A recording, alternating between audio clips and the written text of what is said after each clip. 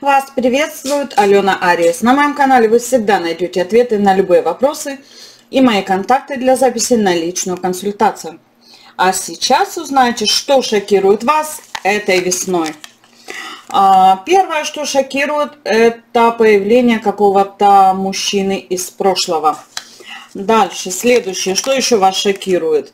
А, шокируют какие-то разнообразные предложения – и некоторая неопределенность, да, что-то вам придется решать этой весной, да, в связи с какой-то поездкой. Но у кого-то могут быть еще и перемены.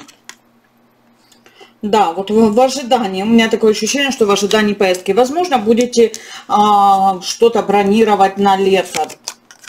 Очень, очень похоже. Вот, а, денежки будут, но увеличения в финансах я не вижу.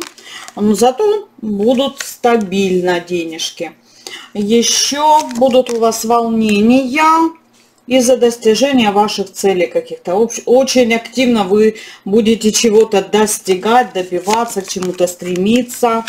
Вот. Но не факт, что а, достигнете именно весной.